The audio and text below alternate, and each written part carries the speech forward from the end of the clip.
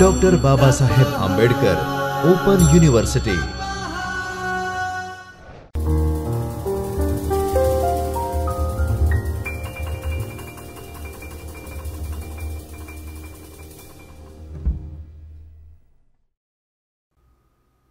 A very pleasant good morning. Who is watching me currently? Yes, we are live now. I Pragati Kachi and I welcome you at Chaitanya Studio at Dr. Baba Saheb Ambedkar Open University, Ahmedabad.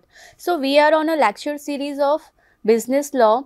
Previous lectures में हमने Indian contract act के बारे में पढ़ा था उसके बाद हमने स्पेशल कॉन्ट्रैक्ट एक्ट के बारे में पढ़ा ब्लॉक नंबर वन की यूनिट नंबर थ्री को आज हम डिस्कस करेंगे जिसका नाम है negotiable instrument act negotiable instrument act के बारे में आज हम जानेंगे। हमारे कुछ लर्निंग ऑब्जेक्टिव्स हैं जो हम अचीव करेंगे इस लेक्चर को कंप्लीट करने के बाद।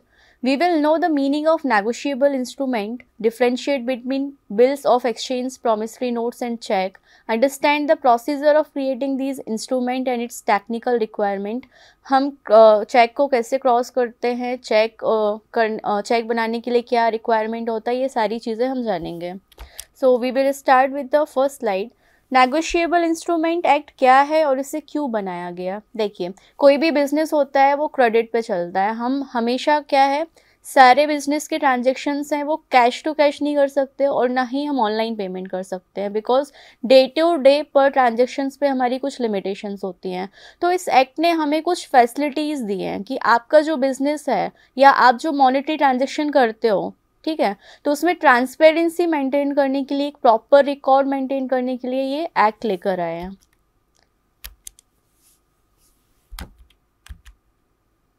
Businessman does not wants to carry large amount अब अगर हमें किसी के साथ मॉनेटरी ट्रांजेक्शन करना है, हमारी किसी के साथ डील हुई है तो या तो हम उसको कैश पेमेंट करेंगे या तो ऑनलाइन पेमेंट करेंगे। बट कभी कभी क्या होता है कि हम बहुत सारा अमाउंट लेकर जा रहे होते हैं हो सकता है कि एक रॉबरी का केस हो जाए। तो वो सारी चीज़ें ना हो, इसलिए हम क्या करते हैं, उस अमाउंट के बदले नेगोशिएबल इंस्ट्रूमेंट्स के थ्रू हम क्या करते हैं डील साइन करते हैं। There is a limit over per day transaction online through N E F T R T G S and U P I अगर आप ऑनलाइन भी पेमेंट करते हो तो पर डे ट्रांजेक्शन पर लिमिट होती है या मंथली एक लिमिट सेट की हुई होती है गवर्नमेंट की तरफ़ से। तो इन सारी चीज़ों के लिए एक ऑल्टरनेट ऑप्शन बनाया है। तो ये सारी चीज़ें हम नेगोशिएबल इंस्ट्रूमेंट एक्ट में पढ़ेंगे। Negotiable instruments are the key to any sort of trade nationally as well as internationally. Here instrument refers to a document that physically express a title of money मतलब ऐसे कुछ documents हैं जो money को represent करते हैं कि हमारे पास पैसे हैं लेकिन हम पैसे के बदले इंस्ट्रूमेंट में डील करना चाहते हैं मीन्स कैश को रखने के लिए एक जो ऑल्टरनेटिव ऑप्शन बनाया गया है, उसको हम बोल सकते हैं कि हमारे नेगोशिएबल इंस्ट्रूमेंट्स है लाइक हमारा चेक हुआ चेक में हम कितना भी अमाउंट डाल सकते हैं, लेकिन उतने अमाउंट को क्या हम कैरी कर सकते हैं? The answer is no it is a written document by which a right is created in favour of another party तो हमने अगर किसी के लिए चेक साइन किया है और हमने उसको क्रॉस कर दिया या उसका नाम लिख दिया कि ये जो चेक है वो सिर्फ़ कौन विड्रॉ कर सकता है, जिसका हमने नाम लिखा है। तो जिस पर्सन को हमें पेमेंट करना है, उसको कैश या यूपीआई ना करके हमने क्या दिया है? चेक पेमेंट की हुई है। Negotiation means transferring an instrument from one to another अब मुझे किसी को पेमेंट करना था, ना ही मैंने कैश का ऑप्शन सोचा, ना ही मैंने ऑनलाइन पेमेंट का, मैंने उसको क्या दे दिया? चेक दे दिया। तो ये क्या होता है? एक पर्सन से दूसरे पर्सन को ट्रांसफरेबल होता है। नेगोशिएशन का मतलब होता है ट्रांसफरेबल फॉर सम कंसिडरेशन मतलब कि मुझे अगर टेन लैक्स की पेमेंट करनी है मिस्टर एक्स को तो उसके लिए मैंने उसके से पहले या तो प्रोडक्ट्स लिए होंगे या हमारी कोई भी एक ऐसी डील साइन हुई होगी। तो कंसिडरेशन को मैं क्या कर रही हूँ? ट्रांसफ़र कर रही हूँ कि दस लाख का अमाउंट है, मेरे अकाउंट से डिडक्ट होके मिस्टर एक्स के अकाउंट में जाएगा। तो इसको हम क्या बोलेंगे? इसको हम बोलेंगे नेगोशिएशन इंस्ट्रूमेंट का मतलब होता है formal written document containing some rights formal written documents means cheque को क्या करना पड़ता है हमको? लिखना पड़ता है। उसमें हमारा साइन होता है, हमारी डिटेल्स होती हैं। सामने वाले को, जिसको हम पे करेंगे, उस पर्सन को हम चेक देते हैं। तो इंस्ट्रूमेंट को क्या बोला गया है? Formal written document containing some rights. उसमें कुछ राइट्स होते हैं। सामने वाले पर्सन को राइट मिल गया कि वो बैंक जाएगा, चेक लगाएगा तो उसके अकाउंट में पैसे आएँगे और मेरे अकाउंट से पैसे डिडक्ट होंगे। We can transfer these rights from one person to person of course there must be two parties हम खुद से खुद को चेक बनाकर, खुद में ट्रांजेक्शन नहीं कर सकते। अब इंस्ट्रूमेंट्स के टाइप्स की अगर हम बात करें तो इंस्ट्रूमेंट्स के छः टाइप होते हैं। First one is a bearer of instrument bearer instrument means holder person will be owner for example आप सभी लोगों ने करेंसी नोट देखा होगा। उसमें लिखा होता है I promise to pay to the bearer of some amount of money मतलब जैसे हंड्रेड रुपीज़ का नोट है तो आप उसको देखेंगे तो उसमें ये चीज़ लिखी हुई होगी। तो जो हंड्रेड रुपीज़ का नोट है, वो भी हमारा इंस्ट्रूमेंट है। लेकिन वो क्या है? बियरर इंस्ट्रूमेंट है। मतलब हंड्रेड रुपीज़ के नोट में किसी का नाम नहीं लिखा होता है। आरबीआई गवर्नर का क्या होता है? प्रोमिसरी नोट होता है कि ये नोट जिसके हाथ में जाएगा ओनरशिप उसकी होगी। फॉर एग्ज़ाम्पल हंड्रेड रुपीज़ का नोट मेरे पास है। तो आई एम द ओनर मुझे किसी को पे करना है। मैंने सौ रुपये का नोट दिया। तो सामने वाली पार्टी क्या होगी? बियरर हो जाएगी। Holder person will be the owner तो सौ रुपये का नोट उसका हो गया। तो ऐसे इंस्ट्रूमेंट्स को हम बोलते हैं बियरर इंस्ट्रूमेंट ऑर्डर इंस्ट्रूमेंट्स में क्या होता है कि पेई का नाम लिख देते हैं। फॉर एग्ज़ाम्पल मैं एक शॉप पे जाती हूँ मोबाइल परचेस करती हूँ, ठीक है? और मेरे पास कैश नहीं है ऑनलाइन पैसे नहीं है तो मैं क्या करती हूँ कि एक प्रॉमिसरी नोट लिखती हूँ कि I promise to pay you rupees ten thousand इस इस डेट को मैं आपको पे कर दूँगी और मैं साइन कर देती हूँ। किसको पे करूँगी? मैं शॉपकीपर का नाम डालूँगी। तो अगर हम किसी भी इंस्ट्रूमेंट में पे ही जिसको हम पेमेंट करने वाले हैं, उसका नाम डाल देते तो उसको बोलते हैं हम ऑर्डर इंस्ट्रूमेंट इनलैंड इंस्ट्रूमेंट्स वो होते हैं जिनको हम इंडिया के अंदर बनाते हैं। और फॉरेन इंस्ट्रूमेंट्स वो होते हैं जो हम अगर फॉर एग्जांपल मैं अभी इंडिया में हूँ, कल को अगर मैं दुबई में हूँ, वहाँ पर मैं कोई भी इंस्ट्रूमेंट साइन करती हूँ तो उसको हम बोलेंगे फॉरेन इंस्ट्रूमेंट डिमांड इंस्ट्रूमेंट हमेशा डिमांड पर बनाए जाते हैं for example cheque no time payment is given लेकिन हमको पता है तीन महीने के अंदर हमें उसको क्लियर कराना होता है। तो चेक बनाने की प्रोसेस है कि चेक बुक उठाइए आपको जो भी डिटेल्स फिलअप करनी है, जिसको आपको पे करना है, वो सारी चीज़ें फॉर्मेलिटीज़ करके आप क्या बना सकते हो? चेक बना सकते हो।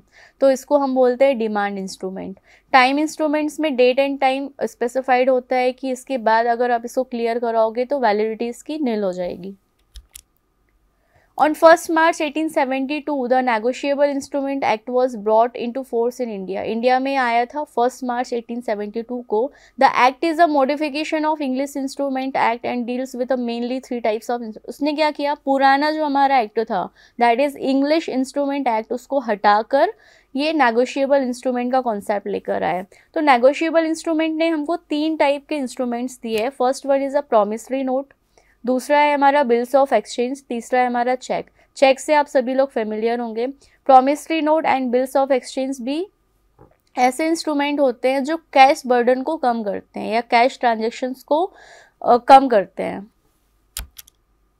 What is mean by the negotiable instrument अब लॉ ने हमें क्या डेफिनेशन दी है? लॉ ने हमें बोला है as per section thirteen A negotiable instrument means a promissory note, bills of exchange और check payable either to order or to bearer तो लॉ ने क्या बोला है? कोई भी प्रॉमिसरी नोट हो या बिल्स ऑफ़ एक्सचेंज हो या चेक हो जिसको हम ऑर्डर पर पे कर रहे हैं या बियरर को दे रहे हैं ऐसे इंस्ट्रूमेंट्स को हम बोलते हैं negotiable instrument the ownership right of negotiable instrument is transferable just by delivery if it is payable to the bearer and the person talking to the ownership is good faith as well as in return of some consideration gets the title even the transferor title itself defected मतलब बात वही है कि अगर आपको किसी को पे करना है और आपको कैश भी नहीं देना ऑनलाइन ट्रांजेक्शन भी नहीं करना तो आपके पास तीसरा ऑप्शन क्या है कि आप नेगोशिएबल इंस्ट्रूमेंट के थ्रू अपने पेमेंट सिस्टम को रन कर सकते हो या तो आप सामने वाली पार्टी को चेक दे दो या तो आप प्रॉमिसरी नोट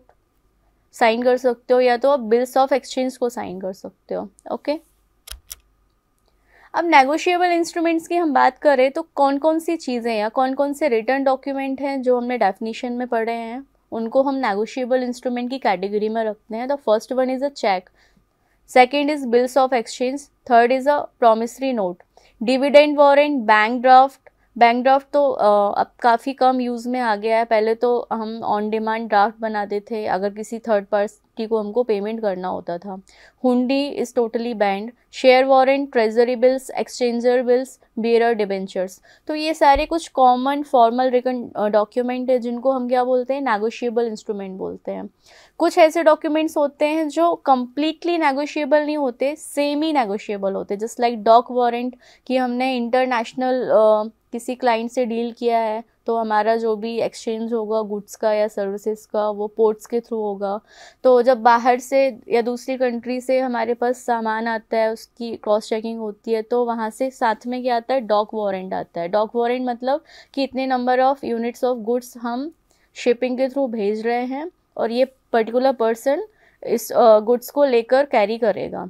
कैरियर रिसिप्ट मतलब ट्रेन में हम कोई भी सामान भेजते हैं या गुड्स भेजते हैं तो उसके साथ में हमको जो रिसिप्ट भेजनी होती है, उसको हम बोलते हैं carrier receipts letter of credit bill of lading and railway receipts ये सब क्या है? सेमी नेगोशिएबल इंस्ट्रूमेंट है। List of instrument that are not negotiable. अब कुछ ऐसे फॉर्मल रिटर्न डॉक्यूमेंट्स हैं जो दिखते तो नेगोशिएबल इंस्ट्रूमेंट की तरह है, लेकिन होते नहीं है, just like share certificate for example मैंने रिलायंस जियो के कुछ शेयर्स खरीदे हुए हैं।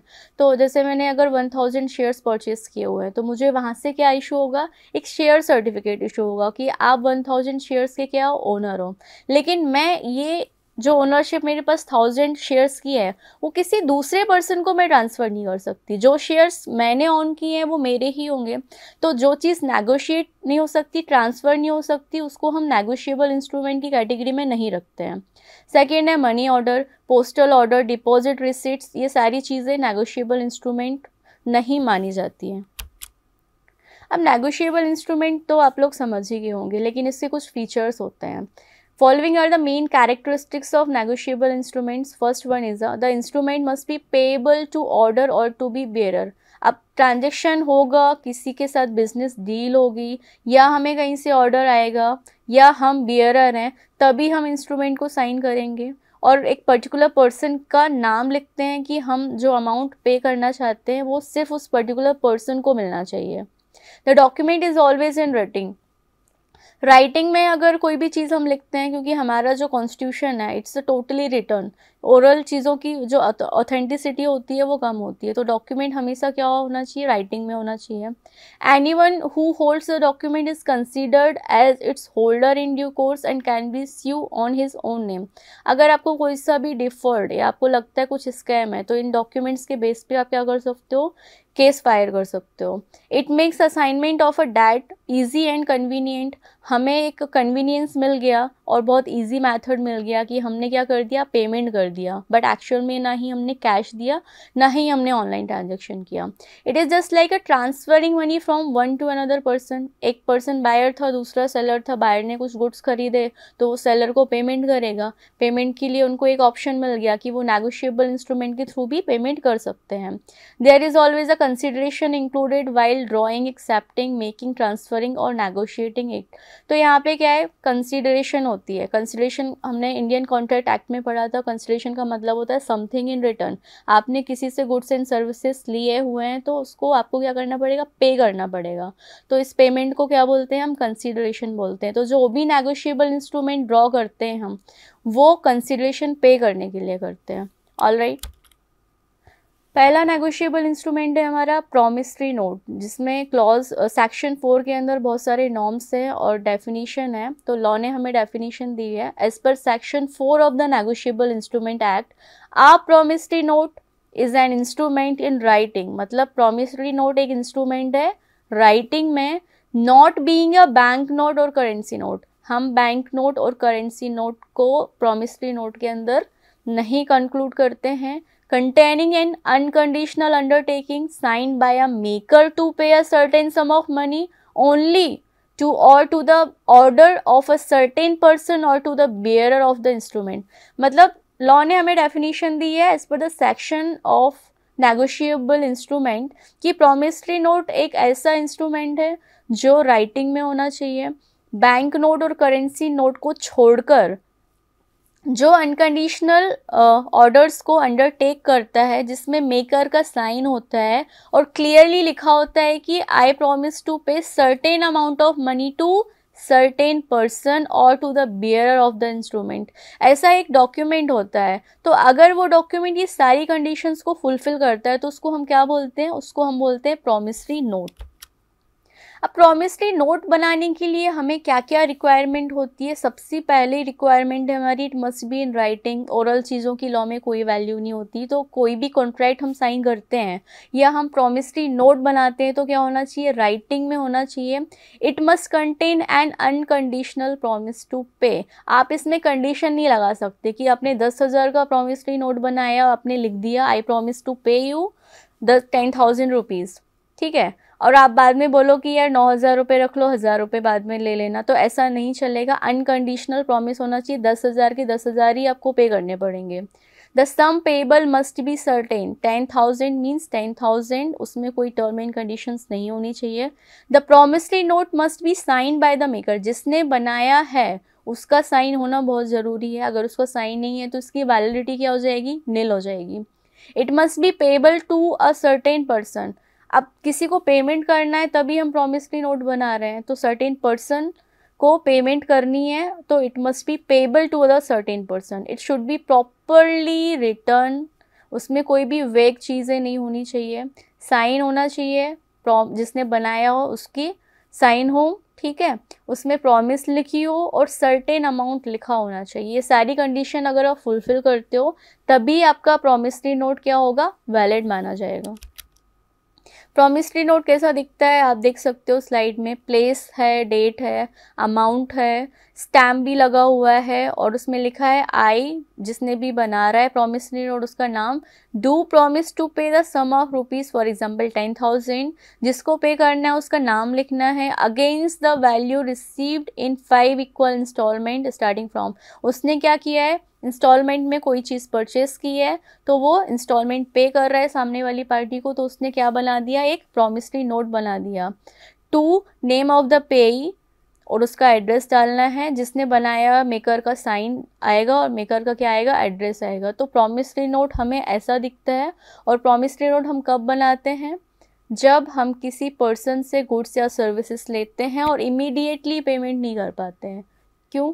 क्योंकि हमारे पास या तो कैश नहीं है, या तो हमारे बैंक अकाउंट में पैसे नहीं है। हम चाहते हैं कि फ्यूचर में मुझे थोड़ा सा टाइम मिले तो मैं आपके सारे ऑब्लिगेशन फुलफ़िल कर दूँ। तो उसके लिए हम बनाते हैं प्रॉमिसरी नोट आई होप आप सभी को समझ में आया होगा।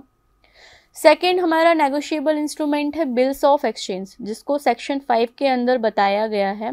As per the section five of the negotiable instrument act 1872 a bill of exchange is an instrument in writing फिर से, अभी हमने प्रोमिसरी नोट के बारे में पढ़ा था कि वो भी राइटिंग में होना चाहिए बिल्स ऑफ़ एक्सचेंज भी राइटिंग में होना चाहिए।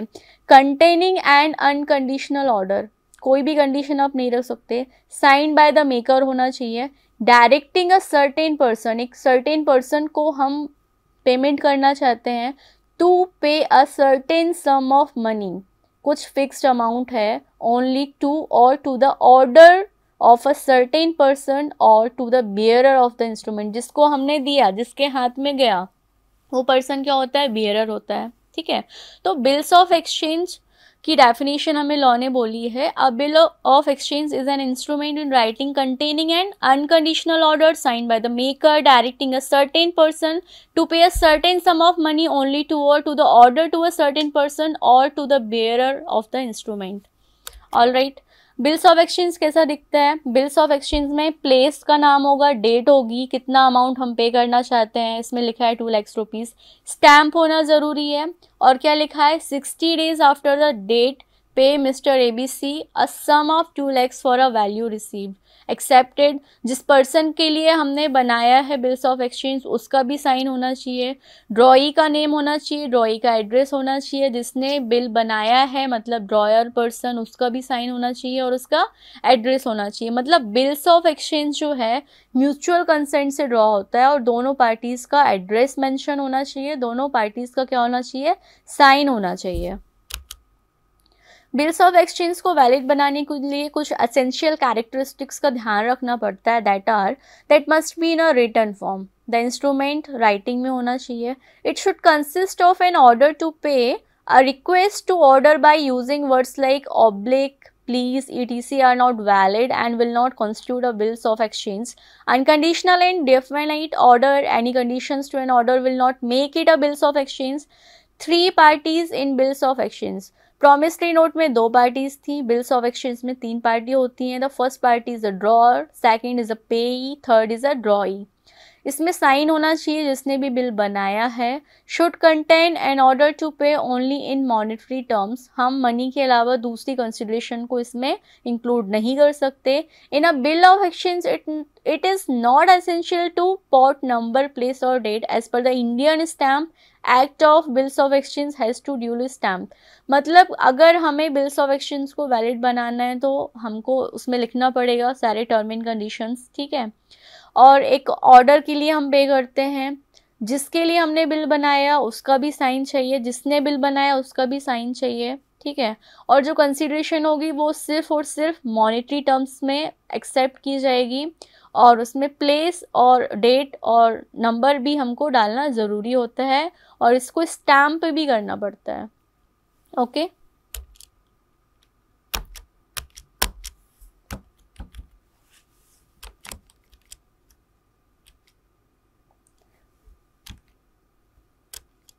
अब हम बात करेंगे चेक की। चेक आप सभी लोगों ने देखा होगा। आई होप आपके घर में चेक बुक भी होगी। तो लॉ ने हमें चेक की डेफिनेशन क्या दी है? लॉ ने हमें बोला है according to the section six of negotiable instrument act 1872 a cheque a cheque is an unconditional order in writing drawn by a customer on his bank इसको कौन ड्रॉ कर रहा है? बैंक के कस्टमर ड्रॉ कर रहे हैं।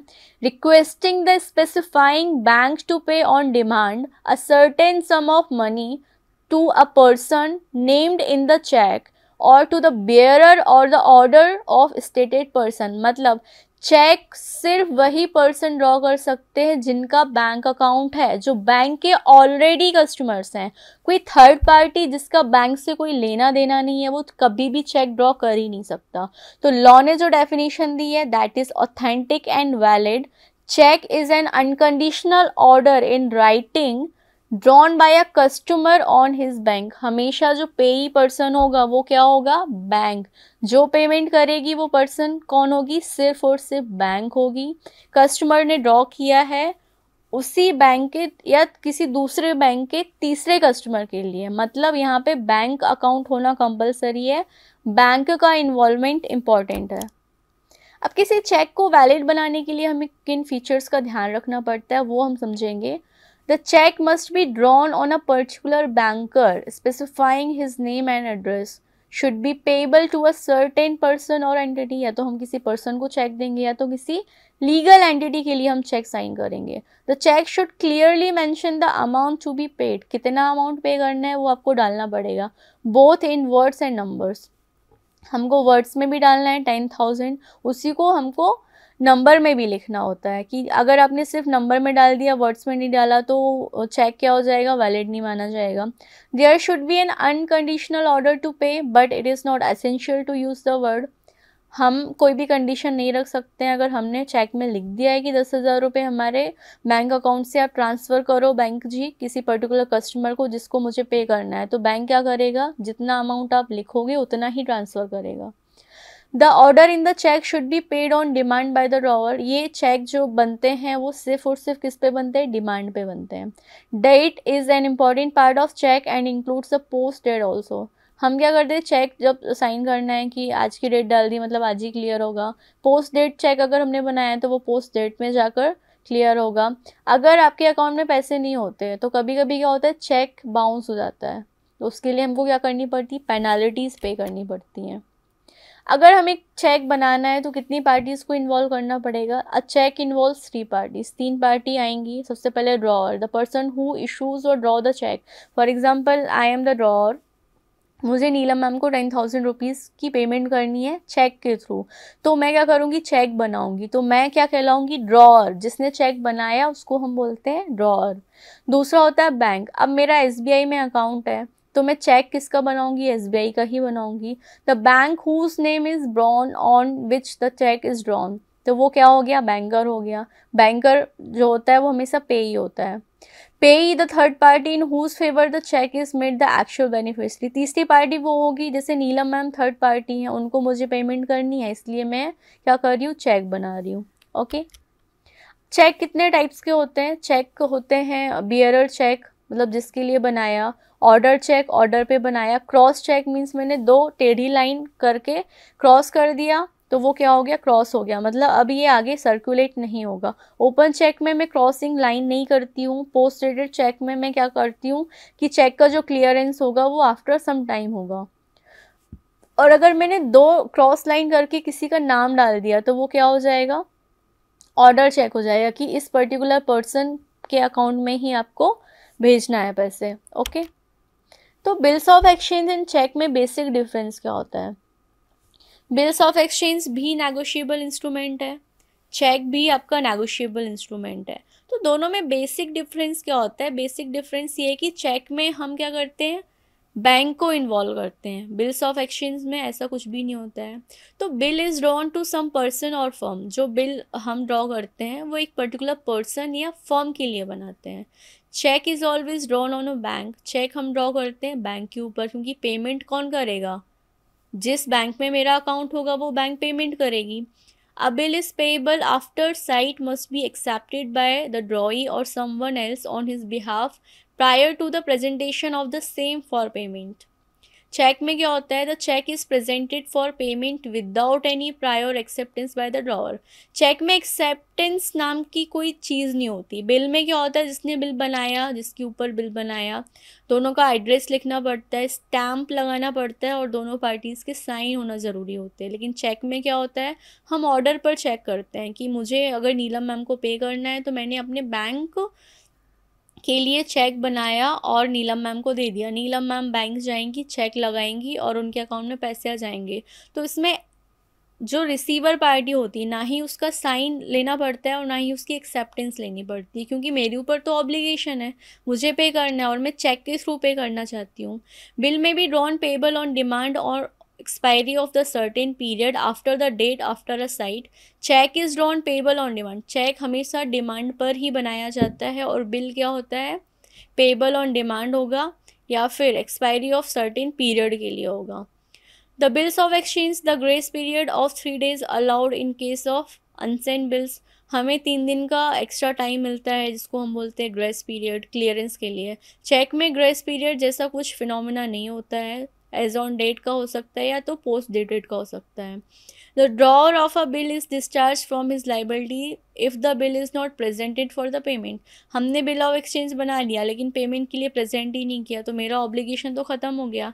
चेक में क्या होगा? The drawer of a cheque is discharge from his liability only if he suffers any damage by the delay in representing the cheque cheque present करने में डिले हो गया तो वो क्या कर सकता है? कुछ पेनाल्टीज़ उसके ऊपर इम्पोज कर सकता है।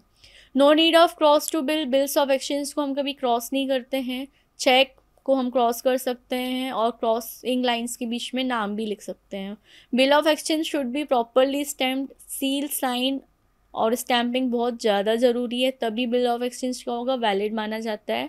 No need of stamp duty payable on cheque cheque में ये सारी चीज़ें नहीं करनी पड़ती, सिर्फ़ जिसने चेक ड्रॉ किया है, उसका साइन लगता है।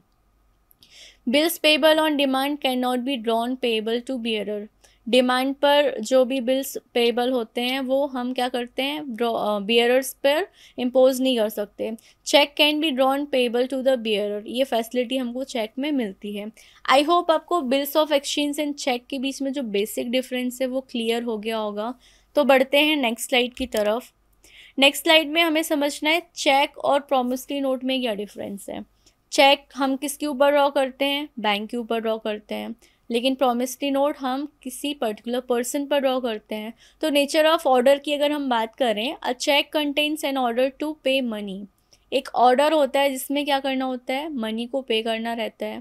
Promissory notes contain an undertaking to pay money number of parties की अगर हम बात करें there are three parties in a cheque drawer drawee and payee एक हमारा ड्रॉअर है जिसने चेक बनाया, जो पेमेंट करेगी वो होगी बैंक जिसके ऊपर बनाया, वो थर्ड पार्टी होगी। In a promissory note there are only two parties यहाँ पर दो पार्टीज़ होती हैं जिसने बनाया दैट इज़ अ मेकर जिसके लिए बनाया that is a payee creator of the instrument the drawer of a cheque is a creditor to the maker of a note is a debtor तो ये हमने थोड़ा सा अकाउंट्स की लैंग्वेज में डिफ्रेंशिएट किया कि चेक में जो ड्रॉर पर्सन होता है वो क्या होता है क्रेडिटर बन जाता है और प्रॉमिसरी नोट में जो मेकर पार्टी होती है, वो क्या बन जाती है डेटर बन जाती है। Identity of the parties of instrument the drawer and the drawee can be one और सेम पर्सन चेक बनाने वाला इंसान सेम पर्सन हो सकता है, वो ड्रॉअर भी बन सकता है ड्रॉई भी बन सकता है। लेकिन प्रॉमिसरी नोट में दो इंडिविजुअल पार्टीज़ होना ज़रूरी है। क्रॉसिंग की बात करें तो चेक को हम क्रॉस कर सकते हैं प्रॉमिसरी नोट को हम क्रॉस नहीं कर सकते। स्टैंपिंग की अगर बात करें तो चेक में कोई सा भी स्टैंप नहीं लगता। अगर आपने कभी चेक क्लियर नहीं कराया है या किसी के ऊपर चेक नहीं बनाया है तो आप एक बार ट्राई करके देखिएगा। तो आपको प्रैक्टिकली समझ में आएगा कि चेक क्या होता है चेक को कैसे वैलिड बनाया जाता है। डिस्काउंटिंग की बात करें तो चेक कभी डिस्काउंटेड नहीं होते हैं, लेकिन प्रॉमिसरी नोट कभी कभी डिस्काउंटेड हो सकते हैं। ग्रेस पीरियड की बात करें तो चेक में कोई भी ग्रेस पीरियड नाम का फिनोमेना नहीं होता है। और एज ऑन डेट होगा या तो पोस्ट डेटेड चेक होगा। लेकिन प्रॉमिसरी नोट में हमें तीन दिन मिलते हैं as a grace period for the payment of the your obligation तो ये डिफरेंस था हमारा चेक एंड प्रॉमिसरी नोट में। चेक में हमेशा बैंक इन्वॉल्व होता है। प्रॉमिसरी नोट में इंडिविजुअल पर्सनस या लीगल एंटिटीज़ इन्वॉल्व होती हैं। आई होप आपको दोनों का डिफरेंस क्लियर हो गया होगा। नेक्स्ट अब हम बात करेंगे अब bills of exchange in promissory note इन दोनों में क्या डिफरेंस है? बिल्स ऑफ़ एक्सचेंज में तीन पार्टीज़ चाहिए होती हैं प्रोमिसरी नोट में दो पार्टीज़ चाहिए होती हैं। लाइब आइडेंटिटी ऑफ़ द पार्टीज़ की अगर हम बात करें तो एक जो मेकर होगा, जो बिल बना रहा होगा, एक एक्सेप्टर होगा। ठीक है? प्रोमिसरी नोट में अगर मैं इमीडिएट पेमेंट नहीं कर पाती हूँ तो जिससे भी मैंने गुड्स या प्रोडक्ट्स परचेज़ किए हों तो मैं उसके ऊपर क्या ड्रॉ करती हूँ? प्रॉमिस फ्री नोट बनाती हूँ कि मैं आपको आफ्टर सम टाइम पेमेंट कर दूँगी। ऑर्डर ऑफ़ लाइबिलिटी की अगर बात करें the liability of a drawer of a bill is secondary In other words, when the acceptor dishonors the bill, the liability of the drawer arise a surety. The liability of a maker of a promote is a primary. तो ये कुछ basic difference है हमारा bills of exchange and promissory note में main difference ये है कि bills of exchange में हम तीन पार्टीज़ को इन्वॉल्व करते हैं प्रोमिसरी नोट में हम दो पार्टीज़ को इन्वॉल्व करते हैं कंडीशन तो है तो दोनों में क्या है कि अनकंडीशनल ऑर्डर होना चाहिए। आप बीच में कोई भी टर्म एंड कंडीशंस को नहीं डाल सकते हो।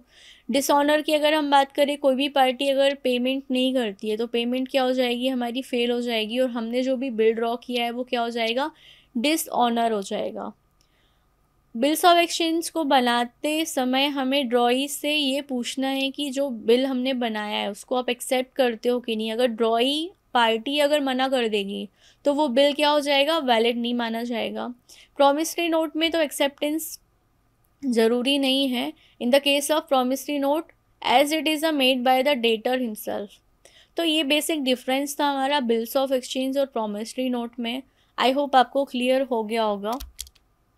अब हम बात करेंगे अगर हमें चेक क्रॉस करना है तो हम कितने टाइप से चेक की क्रॉसिंग कर सकते हैं? ये सारी चीज़ें हमारे negotiable instrument act section 123 and 30 131 के बीच में दिया गया है। तो जनरल क्रॉसिंग की अगर हम बात करें cheque bears across its face and addition of two parallel transverse line means cheque में अगर हम दो टेढ़ी लाइन खींचते हैं तो उसको हम बोलते हैं जनरल क्रॉसिंग स्पेशल क्रॉसिंग में क्या करते हैं? बैंकर्स का नेम डाल देते हैं. रिस्ट्रिक्टिव क्रॉसिंग में क्या करते हैं? Direct the collecting bankers that he needs to credit the amount of cheque only to the account of the payee हमने क्या कर दिया? रिस्ट्रिक्शंस इम्पोज कर दिए। नॉन नेगोशिएबल क्रॉसिंग में क्या होता है? It is when the words not negotiable is written मतलब हमने क्लियरली लिख दिया it's not negotiable for the further transaction तो क्या हो जाएगा? नॉन नेगोशिएबल क्रॉसिंग कहलाई जाएगी। ठीक है? अब हम बात करेंगे कि होल्डर जिसके पास नेगोशिएबल इंस्ट्रूमेंट है, जिसको वो होल्ड कर रहा है, उस पर्सन को क्या बोलेंगे हम होल्डर दूसरा पर्सन होता है जिसको हम बोलते हैं होल्डर इन ड्यू कोर्स तो होल्डर वो पर्सन होता है जिसके पास क्या होती है? पोजीशन होती है। उसके नाम से हमने नेगोशिएबल इंस्ट्रूमेंट बनाया हुआ होता है और उसके ऊपर राइट होता है राइट मिलता है उसको कि ये नेगोशिएबल इंस्ट्रूमेंट मेरे लिए बनाया गया है तो उसको मैं ही रिसीव करूँगी। होल्डर इन ड्यू कोर्स में क्या होता है? Any person who receive negotiable instrument for consideration consideration के लिए अगर किसी थर्ड पार्टी को हम इन्वॉल्व करते हैं और उसको बोलते हैं कि नेगोशियबल इंस्ट्रूमेंट तुम्हारा है तो वो बंदा क्या कहलाएगा? वो बंदा कहलाएगा holder in due course.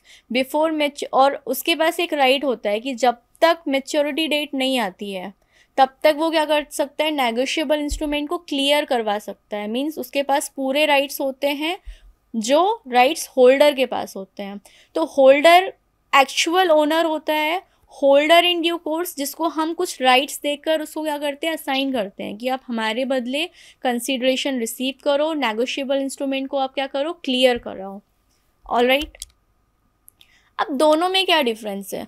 Holder and holder due holder in due course में बेसिक डिफरेंस होता है कंसिड्रेशन का पोजेशन का और कोई भी डिफेक्ट अगर आता है पार्टीज़ के बीच में तो इन सारी चीज़ों को हमने एक बेसिक क्लू बनाया हुआ है कि हम होल्डर पर्सन और holder in due course person को कैसे डिफ्रेंशिएट कर सकते हैं। तो बात करेंगे कंसिडरेशन की। The existence of consideration is not essential in the case of holder but a holder in due course obtain the instrument after paying its full value means for example Neelam ma'am ने मुझे एक negotiable instrument दिया तो I am the real owner तो मैं कहला जाऊँगी holder लेकिन due to any circumstances I was absent तो मैंने धवल भाई को बोला कि एक नेगोशिएबल इंस्ट्रूमेंट नीलम मैम से आप ले लेना ठीक है? और मेरे बदले की जो भी ड्यूटीज़ हैं, वो आप फुलफ़िल कर देना। तो धवल भाई क्या बन गए? धवल भाई बन गए holder in due course consideration उनको भी मिलती, जो मुझे मिलने वाली थी। पोजेशन की अगर हम बात करें the person in title to be called holder in due course must become the possessor of the instrument before it becomes payable where is in case of holder neither actually possession nor any time limit within which is must be acquired is required for example ये phone मैंने ले लिया किसी shopkeeper से, ठीक है? Phone की ownership and position मतलब फ़िज़िकली फ़ोन मेरे पास है, लेकिन मैंने उसको पूरा पेमेंट नहीं दिया। मैंने उससे क्या डील साइन की कि मैं क्या करूँगी? इंस्टॉलमेंट में पे करूँगी। लेकिन इंस्टॉलमेंट पे करने के लिए आई वॉज़ एबसेंट तो मैंने किसी थर्ड पार्टी को इन्वॉल्व किया कि मेरे बिहाफ में आपको क्या करना है? आपको करना है पेमेंट ठीक है? तो होल्डर की जो रोल्स एंड रिस्पॉन्सिबिलिटीज होती हैं, वही रोल्स एंड रिस्पॉन्सिबिलिटीज किसकी हो जाती हैं? Holder in due course person की हो जाती हैं। The defect in the transfer title the most important point of a difference is that the holder in due course acquires any instrument without having sufficient cause to believe that any defect अगर देखो, दो parties के बीच में अगर contract हुआ है goods के बदले में हमको कुछ कंसिडरेशन पे करनी है। और बीच में जो भी डिफेक्ट आता है नॉन पेमेंट का या प्रोडक्ट हमारा ख़राब निकला तो जो rights and obligation holder person के होते हैं, वो सेम राइट्स एंड ऑब्लिगेशन किसके पास चले जाते हैं? होल्डर एंड ड्यू कोर्स के पास चले जाते हैं। तो नेगोशिएबल इंस्ट्रूमेंट आप सभी को समझ में आया होगा लॉ ने हमें क्या बोला था? लॉ ने बोला था कि नेगोशिएशन की प्रोसेस अगर इन्वॉल्व नहीं होती है during the all process of making any kind of negotiable instrument और जब तक वो क्लियर नहीं हो जाता तो वो वैलिड नेगोशिएबल इंस्ट्रूमेंट नहीं माना जाएगा। तो लॉ ने हमें एक डेफिनेशन दी है as per section fourteen when a promissory bills of exchange और cheque is transfer to any person so as it to constitute that person the holder thereof the instrument is said to be negotiated मतलब law ने थोड़ा सा हमको legal terms में समझाने की कोशिश की है कि कोई भी नेगोशिएबल इंस्ट्रूमेंट अगर आप बनाते हो, अगर वो ट्रांसफ़र नहीं हुआ टू द ओनर या होल्डर ऑफ़ द पर्सन या holder in due course person तो उसको हम नेगोशिएशन नहीं बोलेंगे। ट्रांसफ़र होगा तभी हम बोलेंगे कि हमारा एनआई जो है वो नेगोशिएटेड हो चुका है। अब नेगोशिएशन करने के लिए हमारे पास कुछ मोड्स हैं। फ़र्स्ट मोड है नेगोशिएशन बाय डिलीवरी ओनली हमने नेगोशिएबल इंस्ट्रूमेंट दे दिया हैंड ओवर कर दिया सामने वाली पार्टी को तो हमने क्या कर दिया? डिलीवर कर दिया उसको. दूसरा मेथड होता है negotiation by endorsement and delivery वही एग्जांपल कि आई वॉज़ एबसेंट मैंने अपनी राइट्स किसी थर्ड पर्सन को दे दिया और मैंने बोला कि मैं जो काम करने वाली थी एनआई के लिए, वो सारा काम आप करो. तो उसको बोलते हैं इंडोर्समेंट अब हम बात करेंगे नेगोशिएबल इंस्ट्रूमेंट की डिलीवरी कितने फॉर्म्स में होती है। फ़र्स्ट फॉर्म है एक्चुअल डिलीवरी कि सच में हमने एनआई किसी को हैंड ओवर कर दिया और उसने क्लियर करा लिया। दूसरी डिलीवरी होती है कि मैंने थर्ड पार्टी से कराया, उसने वॉल्ट्री किया या मेरे बोलने पे किया तो जो ओनरशिप होती है एनआई की, वो ट्रांसफ़र हो जाती है।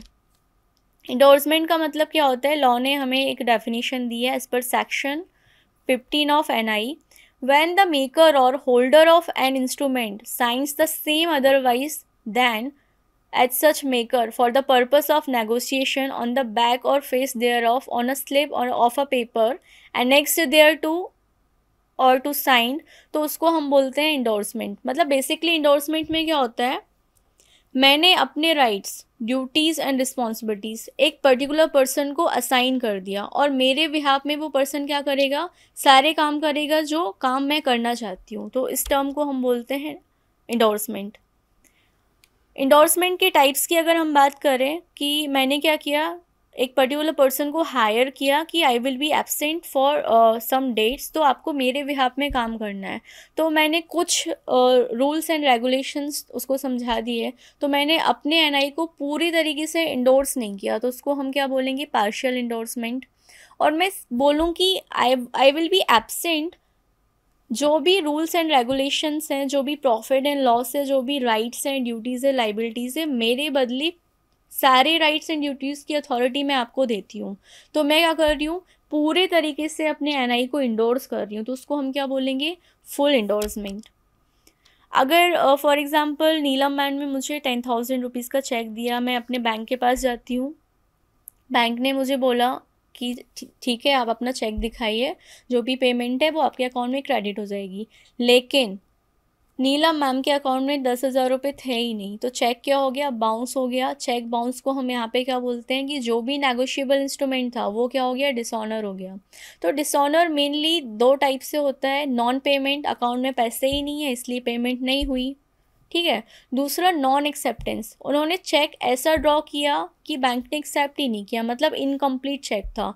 तो इन सिचुएशंस को क्या बोलते हैं कि हमारा जो एनआई है नैगोशियबल इंस्ट्रूमेंट है, वो क्या हो गया? डिसऑनर हो गया। अब चलो हमने जितनी भी पार्टीज़ को इन्वॉल्व किया पेमेंट के लिए of course that is a monetary transaction तो वो सारी पार्टीज़ अपने ऑब्लिगेशंस को कब ख़त्म कर सकती हैं? सबसे पहले तो जो भी हमने ऑफ़र दिया एक्सेप्टेंस किया जो भी एन आई हमने जिसके ऊपर ड्रॉ किया जितनी भी पार्टीज़ को हमने इन्वॉल्व किया सबने क्या कर दिया? अपनी अपनी परफॉर्मेंस दे दी। मीन्स सबका ऑब्लिगेशन ख़त्म जिसको जो ड्यूटी या राइट uh, मिला था उन्होंने कर दिया। तो हमारा क्या हो जाएगा? नेगोशिएबल इंस्ट्रूमेंट डिस्चार्ज हो जाएगा। आई होप आप सभी को मेरा नेगोशिएबल इंस्ट्रूमेंट एक्ट का एक्सप्लेनेशन अच्छा लगा होगा। For any queries and doubt आप मुझे मेल कर सकते हैं। Have a knowledge full day ahead thank you